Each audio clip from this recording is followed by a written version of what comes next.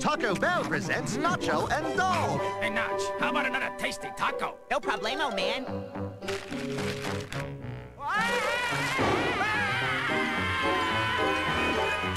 Hold it! Another bag! Whoa, that was scary. Now, when you buy a Taco Bell kids meal, you can get one of four Goosebumps activity packs, like a 3D puzzle or a cool and spooky Goosebumps board game. But you'll only find them at Taco Bell. That's that food. Bye.